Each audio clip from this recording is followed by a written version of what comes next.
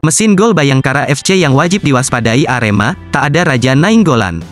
Bayangkara FC tercatat sebagai tim paling miskin soal produktivitas gol di Liga 1 2023-2024. Namun, bukan berarti tak ada mesin gol Bayangkara FC yang wajib diwaspadai Arema, meski tak ada nama sang mega bintang, Raja Nainggolan. Hingga pekan ke-27, Bayangkara hanya bisa melesakkan 24 gol ke gawang lawan, Gol-gol itu merupakan kontribusi dari setidaknya tujuh pemain. Pada bursa transfer pemain paruh musim, tim berjuluk The Guardian ini mendatangkan sejumlah pemain untuk memperkuat skuadnya. Salah satunya bomber Madura United, Junior Brenau yang kini berada dalam daftar top skor sementara. Sejatinya, bukan cuma penyerang asal Brasil itu saja yang dapat membahayakan gawang Arema nantinya. Lantas, siapa sajakah mesin gol yang harus dijinakkan Arema itu? 1. Junior Brenau Junior Brenau mengisi salah satu slot pencetak gol terbanyak Liga 1 2023-2024 dengan 14 gol yang dibuatnya. Namun, 9 gol di antaranya dilesakkannya saat masih berseragam Madura United di putaran pertama. Sementara, bersama Bayangkara, 5 gol dan 2 asis sudah disumbangkannya.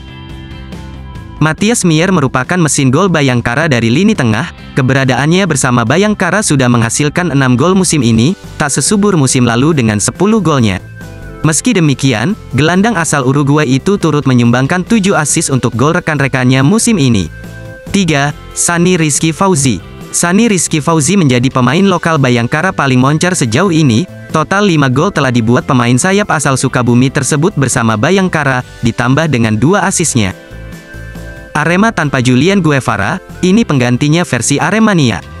Arema tanpa Julian Guevara saat menjamu Bayangkara FC di pekan 28 Liga 1 2023-2024, ada pemain yang paling banyak disarankan Aremania sebagai penggantinya.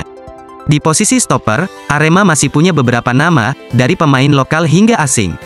Bagas Adi hampir dipastikan bakal mengisi satu slot back tengah, mengingat posisinya tak tergantikan sejak Widodo Cahyono Putro ditunjuk sebagai pelatih Arema.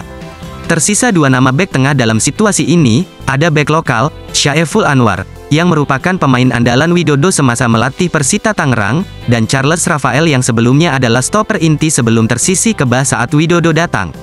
Aremania banyak mengusulkan Rafael untuk menggantikan posisi Guevara, dibandingkan Syaiful Anwar.